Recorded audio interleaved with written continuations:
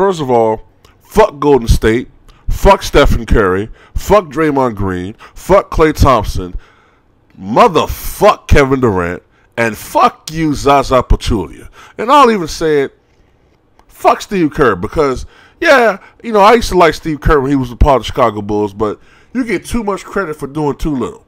All right? I could coach this fucking uh, team to at least 64 fucking wins. I could even coach this fucking team. Pay me $100,000 a year and let me coach the fucking Golden State Warriors, and we'll win at least 65 fucking games. All right? Mark Jackson put this team together.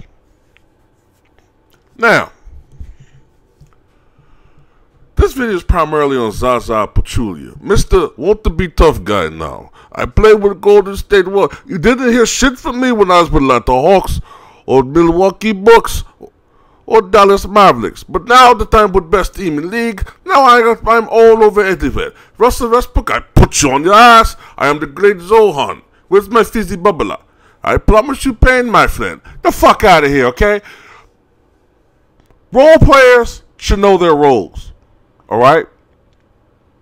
Kenny Smith irritates me because he tries to compare himself with legends. But at least Kenny Smith in his prime was something close to an all star with the Kings. Okay, the Kings were bad, but Kenny Smith, you know, had some game. Yeah, you know, he had a couple of seasons putting up about 17 points, seven assists. Okay, that's that's pretty good. You know what I'm saying? Zaza Pachulia, you've been a you've been a borderline bum your entire fucking career. All right, you're not the worst fucking player, but you're not a fucking all star, and it's an insult to pass all stars like the great legendary Julius Erving and Michael Jordan and Akeem Olajuwon and Larry Bird and Magic Johnson and Wilt Chamberlain, Bill Russell and Bob Pettit and Bob Cousy, Kareem Abdul-Jabbar, Oscar Robertson, Bill Walton. It's an insult to the hundreds of certifiable all-stars like Jerry West and Elgin Baylor that you're even on the ballot, let alone second and front court voting in front of the likes of LaMarcus Aldridge and DeMarcus Cousins and Anthony Davis. And the only person you're fucking behind is your fellow fucking turncoat, Kevin Durant. Zaza, let me tell you something. You're one trade away from being irrelevant. Okay? One trade away.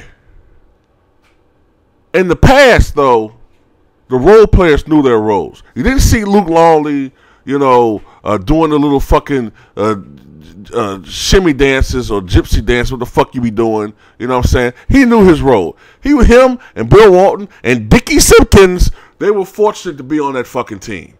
All right, the Lakers. Kurt Rambis, hustle, tenacity, all that shit. Knew his fucking role. Rick Carlisle knew his role with the Celtics.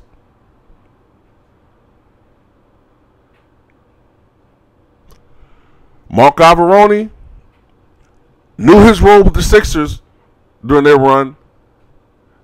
You need to know your role. You're not a fucking all star. You're not. You're not. I don't give a fuck what your home country is voting. Okay? They're idiots who don't fucking watch basketball. You're not a fucking all star.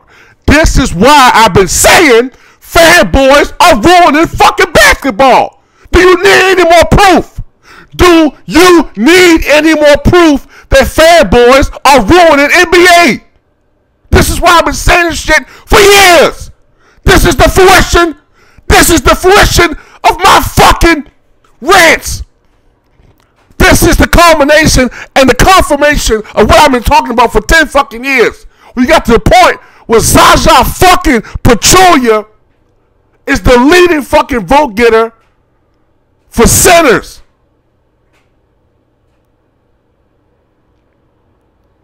And I don't want to hear no shit about, oh, it's the intangibles. Um, you know, the stats don't show everything. No.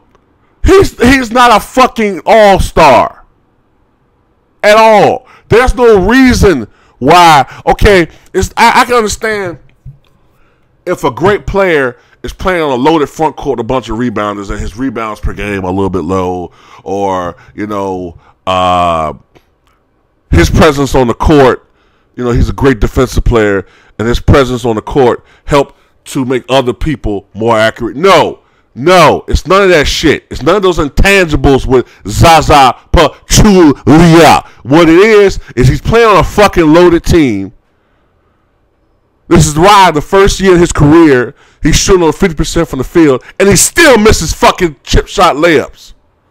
He's a fucking bum. And I'm fucking done.